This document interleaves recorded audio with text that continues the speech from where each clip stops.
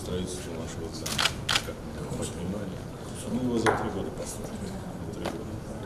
С 47 года, когда впервые были э, индустриальным методом пробурены скважины и добыты нефти. Да? С чего начиналась вообще история нефти? В 1859 году в Баку был построен первый нефтеперерабатывающий завод. Тоже Технология. в мире. Технология своя. Своя, все свое. Это э, в свое время здесь работали Ротшильды, Нобели, они привозили сюда тоже новые технологии, изобретали. Практически все изобреталось здесь. В 1877 году впервые был построен танкер, который перевозил нефть. Опять же, все в первый раз в мире. В 1949 году мы начали офшорную добычу нефти в море, в открытом море, начали курить на эстакадах. Тогда создавали все это, строилось, строилось и добывалось. Так у нас это 30% мировой нет, да? Где-то в, в начале 20 века мы практически половину мировой нефти произвели. Половину. Да. В 1994 году с приходом к власти нашего, нашего национального лидера Гайдара Алиева был подписан контракт века, и Азербайджане фактически долгое время не видели инвестиций в нефтяном секторе. Появились первые инвестиции благодаря созданному консорциуму. В 1999 году был создан наш фонд да, для того, чтобы доходы от э, этого контракта поступали в нефтяной фонд. В 2000 наш э, был утвержден наше основание. В 2002 году был заложен Баку Тбилиси Джейхан. Э, В 2006 Баку Тбилиси Эрзерун. Это основные трубопроводы, по которым сегодня идет нефть и газ на мировые рынки. В 2012 году мы заложили так называемую трубу Танап, которая является частью южного газового коридора. Как видите на этой карте, она соединяет Азербайджан с Европой. Проходит через Грузию, Турцию, э, Грецию, Албанию и соединяется в Италии под Адриатическим морем. Южный газовый коридор. И в А 14 это году длинность сколько километров? а, 1700 километров. Из разнообразных валют, в основном 50% это доллары США, 35% евро, 5% фунты стерлинги.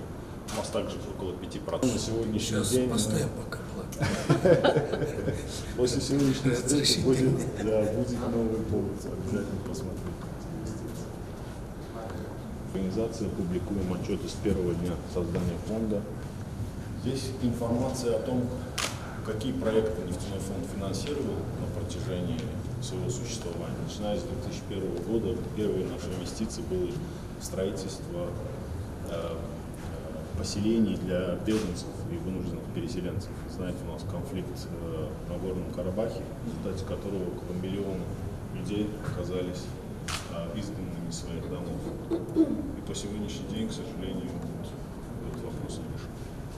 Свое время у нас было около 100 тысяч людей жили в палаточных городках. И сегодня, на сегодняшний день этих палаточных городков нет, благодаря нашему финансированию и строительству. Это закладка Баку Тбилиси э, Джейхан, основного нашего нефтяного трубопровода, э, тоже финансировалось нефтяным фондом.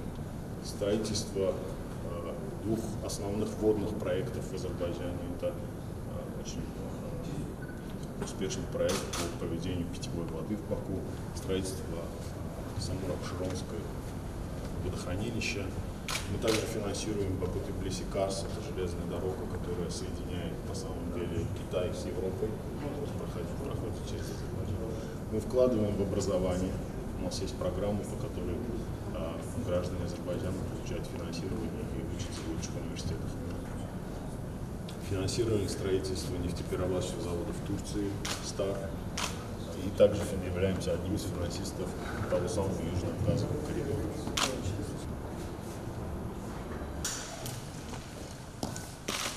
Уважаемые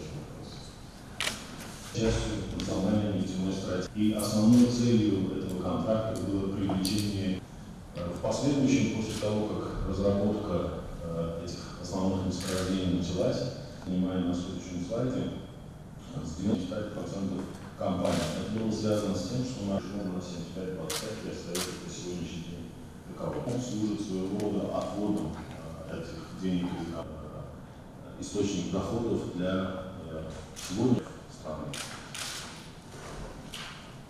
Со стороны наблюдательного совета, законодательный совет СБ парламента. Также экономический союз слайд показывает, что Фонд является глобальным инвестором в Лондоне, в Москве, в Париже, в Сеуле, в Токио, в Милане. Все эти цели недвижимости, конечности и подотчетности фонда. Э, нефтяной фонд. Чисто акопесу Монсур хуртулик моқтарача тәғу майланы тұрынсат несімеді. Сумайын читали Москву. Очень интересная информация, и э, я бы начал с того, что платить. Наверное, кого миллиард?